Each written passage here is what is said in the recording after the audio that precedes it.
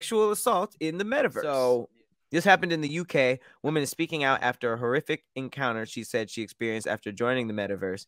Um, and by the way, the metaverse refers to the 3D virtual worlds which simulate real life. So it's kind of a, the, the, things you've been bu- hearing uh, buzz about. Facebook just changed their name to Meta. It's basically going to be social media that you can walk around in. Uh, this woman, Nina Jane Patel, who serves as vice president of Metaverse Research. Jesus, oh man, they mess with her. This yeah. is who the, this is the this is who's leading the research.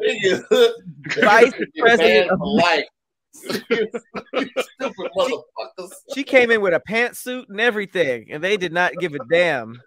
Um, it said, uh, it says she was sexually harassed and virtually gang raped by other users in the virtual game Horizon Worlds, developed by Meta, formerly known as Facebook. Within 60 seconds of joining, she wrote in a Medium blog post, I was verbally and sexually harassed by three to four male avatars with male voices, essentially, but virtually gang raped my avatar and took photos.